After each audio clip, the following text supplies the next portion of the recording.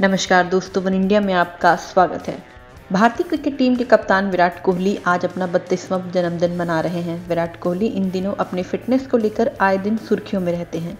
भारतीय cricket team के कप्तान विराट कोहली फिटनेस के मामले में बड़े बड़े एक्टर्स को टक्कर देते हैं। पिछले कुछ साल से कोहली लगातार अपनी फिटनेस पर काम कर रहे हैं। विराट की फिटनेस से भारत ही नहीं, दुनिया भर के कई क्रिकेटर्स प्रभावित हैं। हालाँकि विराट कोहली के लिए ये सब करना कतई आसान नहीं था।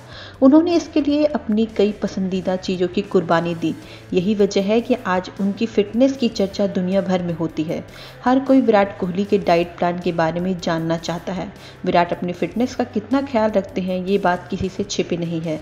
और अब जब वो पूरी तरह से शुद्ध शाकाहारी बन गए हैं तो वो उसकी जगह पर प्रोटीन शेक सब्जियों का जूस और दूसरी तरह की वेजिटेबल डाइट का सहारा ले रहे हैं। विराट कोहली कई बार अपनी फिटनेस के बारे में खुलकर बात कर चुके हैं। आप भी विराट कोहली जैसे फिटनेस चाहते हैं तो हम आपको बता रहे हैं उनके वर्कआउट और लाइफ स्टाइल के बारे में। रिपोर्ट्स की माने तो बचपन में विराट कोहली गोल मटोल हुआ करते थे। इतना ही नहीं, उन्हें पंजाबी खाना बटर चिकन और मटन रोल जैसे बहुत पसंद था।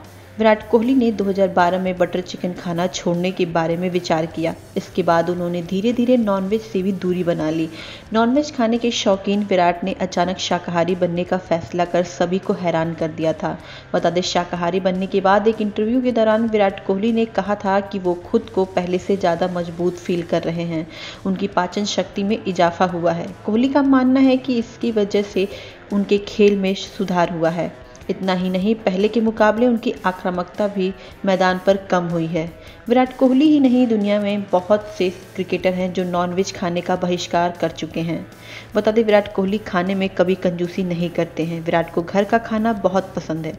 खाने के शौकीन विराट कोहली का मानना है कि जब तक मन हो, खाना चाहिए। लेकिन विराट जंक फ़ूड से हमेशा दूरी बनाकर रखते हैं। विराट कोहली खुद तो हेल्दी फ़ूड खाते ही हैं, साथ ही लोगों को भी जंक फ़ूड से दूर रहने की सलाह देते हैं। फ़िलहाल के लिए खबरों में इतना ही। तमाम अपडेट्स के लिए देखते रहिए वन इंडिया।